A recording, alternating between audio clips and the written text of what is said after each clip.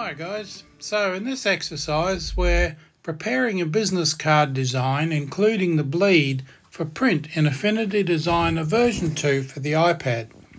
Now I'm not designing um, the logo etc on this card, I'm designing the card so that you've got a foundation to work with. In today's tutorial, we'll look at the process of designing a business card and highlight some important considerations when designing for print using the iPad.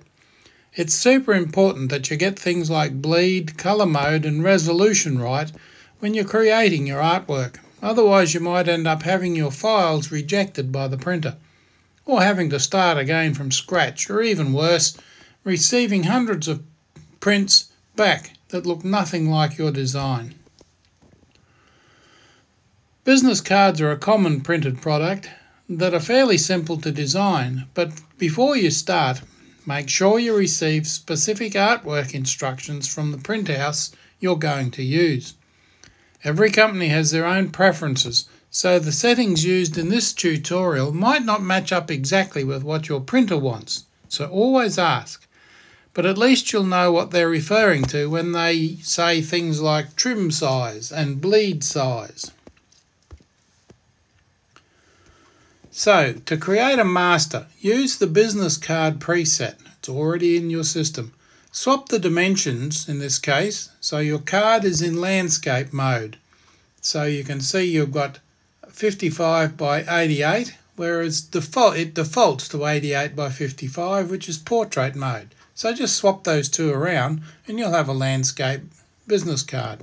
You could even create that as a preset, which is always there when you need it. We're designing for print to go to a print house, so select the CMYK colour mode. So we're working in cyan, magenta, yellow and black inks as opposed to RGB light inks. Remember this because you eventually need another just like it for the other side of the card. And we're going to take a shortcut for this one, and you'll see that as we get there. Using the business card preset, select Margins and Bleed tab. Set the bleed to 3mm, set the margins to 5mm. This creates your safe area. So let's explore these further. So your card is 55 by 88 millimeters and you have a 5 millimeter margin that's the boundary inside the card and the bleed is 3 millimeters on all sides. With your new document created the bleed and margins are clearly defined now and you can see them there the blue outer line that is not you can't actually put anything in there that'll be cut off by the printer but that's okay You'll see a border appear around your created document 3 millimeters outside the design size. That's the bleed. Bleed is basically some padding around the edge of the design which is cut off during the printing process and this is quite important with a business card. It ensures that you don't end up with teeny slithers of white paper along the edge of your prints if the machine isn't lined up exactly nothing worse. With your bleed created, we need to understand how you can actually see the bleed area outside the trim area. Recall, the trim is the finished cut size of your document once it has been trimmed. 88 millimeters by 55 millimeters. The bleed allows you to draw graphics or colours right outside the visible so it can be trimmed off and not leave those little visible borders around your document. So your document is the purple, that's where you'll have everything, and the bleed is actually cut off.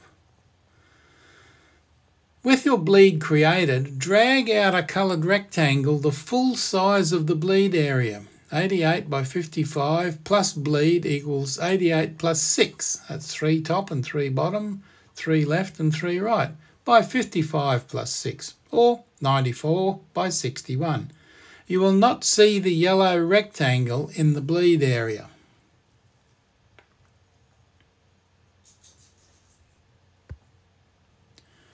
Select Document tool, then Canvas, then Clip to Canvas. this will reveal the entire canvas. And you can see there, you've got the margins, the edge of the document, and the bleed. So the yellow goes right out to the edge.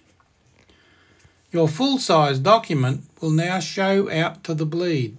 The original document outline can already be seen below the yellow, but we need something more definite. So next, place another rectangle, white is good, that's the actual size of the card, 88 by 55. Now you can clearly see your bleed area. That's the part that will be trimmed off, leaving a nice clean edge.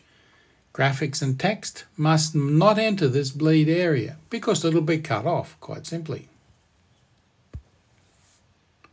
You need the bleed, especially when applying graphics, even just plain coloured backgrounds.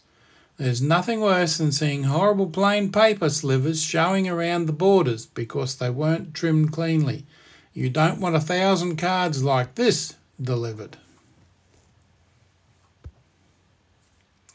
It's also wise to highlight a safe area within your document.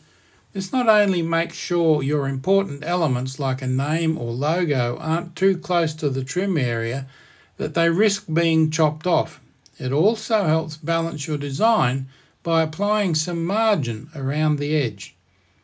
The size of the safe zone is entirely up to you, but 5mm shifts your elements inwards enough to look neat. Your margins show at 5mm in on all sides. This is your safe area. So inside that blue rectangle is your safe area, not too close to the edge, and your document looks balanced. I want a black background for my card design so I'll tap the Move tool and select the shape that covers the entire bleed area. A black background sounds simple enough, but there's a whole plethora of different black colours that can be printed.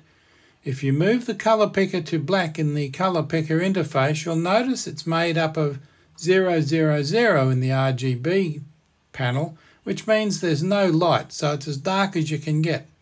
But look over at the CMYK values, and they're all over the place.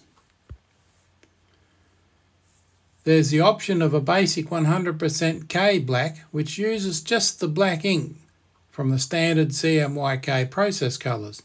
This is a good choice for text because just using one ink out of the four CMYK colours means you'll get the sharpest possible print but when it's applied to a large area, it can look a little washed out.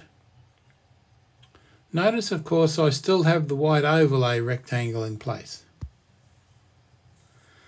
Rich black is the term used for mixes of cyan, however you pronounce that, magenta, yellow and black that result in a deeper black print. A common combination is 50, 40, 40, 100 which refers to the percentages of the four CMYK colours you set in your software and the amount of ink printed with each colour. The trouble is, this particular colour mix uses all four colours, so it has a high risk of causing fuzzy text as the artwork is printed four times one on top of the other. This becomes particularly prominent if any of the print heads or plates are misaligned, known as misregistration in print terms. A couple more common black options are warm black and cool black, which mix 100% K with 50% cyan or magenta. These two recipes use only two colours, so it's much safer to use with detailed artwork while still darkening the black print. The difference between them, as their names suggest, is one has more of a cooler blue tone, whereas the other has a warmer browny red tone. I'm going to use blue elsewhere in my design, so I'll go with cool black to complement it. That's the cyan edition, 50% cyan and 100% K. Set up the colour manually by entering the relevant percentages in the CMYK values. You can see there, that's what I've done. So here I have the white rectangle, the actual card size, turned off. We don't need it. You can see the bleed, the guides for the safe zone and the overall cool black all set. Now you may not immediately notice that, but if you look at it closely, within the square of the safe area, that black is a slightly, slightly bluer colour than the black of the main document border outside, the workspace of Affinity Designer. The black is controlled by the CMYK and is understood by the commercial printing houses. It's a slightly cooler black. You can now begin building your business card design by bringing in a logo. Now I'm not going into logo design here, but I've simply used a, uh, an SVG file here, scale it to size and align it to the safe zone guides. That's the inner guide you can see there, the blue rectangle. There's no white ink in printing, unless it's a super specialist print, and we're not concerned about that here. Giving something a white fill in your software will translate to the other elements being knocked out to allow the white paper stock to show through. Copy and paste your SVG logo, then select both layers. Now you can see I've got them both selected there. With both layers selected, go to the Edit Tools, select Subtract from the Geometry list, and the result of the geometry exercise is there. The logo is cut out cleanly, exposing the white card stock in the background. You can see in the layers panel that I have unselected the white rectangle. We actually don't need it now, so it can probably even be deleted. But I've left it there as a bit of a guide for me so I don't, um, I don't forget about it. When entering the text for your print design, Six point is usually the lowest you'll want to go. A business card is held up close normally to your face, so you can get away with generally smaller type. But be careful if you're using elegant fonts with high contrast. There's a point where fine lines become unprintable. The Syncopate font I'm using is pretty robust, so it can handle six points, as shown here. I'm using a second layer for the reverse side. You can leave the card white and use the black for text if you like. But you can see I've as good as finished the front side. I'm now moving to the back of the card, the reverse side.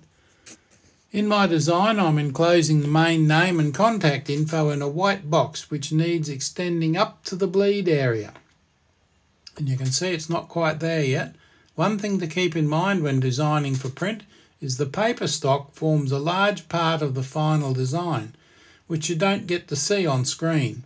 A lot of people try to add gradients and drop down shadows to make their designs more interesting, but these often just muddy the final print. An area of flat colour might look boring on screen, but when it's printed, you'll see the texture of the paper with a matte or glossy finish. I want to have the logo and a tagline on this side of the card so I'll paste in the logo graphic and type out the text with the relevant font. Usually it's advised to add all your text because it's made in crisp vectors rather than fuzzy pixels when you convert the text to curves. Now that's important. Your printer may not have the font you use so convert it to curves. Then you can transport it anywhere. Now I'm going into card design but setting up the card, so I'll stop here. Your design will be absolutely different. Now there's the finished card, the two sides. Synergy Systems, the front, just Synergy Systems, side one if you like, and side two, the details. Um, the person's name, address, how to contact them, and you can see the white cutout goes right up to the edge, the bleed line that's been cut off at the bleed, which is just what you want. And that's obviously the reverse of the card because the outline is not as heavy, the logo, but it's still there. It's almost like a shadow of the front side of the card. So there's a little bit of design there. Now that's where I'm going to stop for this exercise, and I hope it's enough to show you that you can set up that bleed, guides, margins and colours as you like. So thanks for watching. I hope you find it useful. Don't forget to subscribe to the YouTube channel, click on the thumbs up for a like, and the bell to be reminded when new videos appear. I really appreciate it when you do.